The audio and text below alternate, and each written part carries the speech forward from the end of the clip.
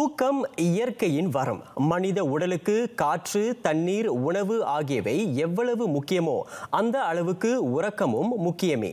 மக்களுக்கு அது பற்றி விழிப்புணர்வை ஏற்படுத்தவே இன்று உலக தூக்க நாள் அனுசரிக்கப்படுகிறது.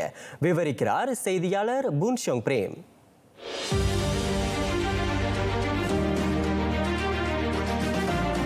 உடல் ஆரோக்கியத்துக்கு இன்றியமையாதது தூக்கம். அதனை உணர்ந்துதான் நம் முன்னோர்கள் தூக்கத்துக்கு அதிக முக்கியத்துவத்தை வழங்கினர். ஆனால் இன்றைய நவீன யுகத்தில் பலரின் உறங்கும் முறையும் நேரமும் மாறிவிட்டது. தூக்கத்தின் அவசியத்தை இன்றைய தலைமுறையினர் உண்மையில் அறிந்து வைத்திருக்கின்றனரா?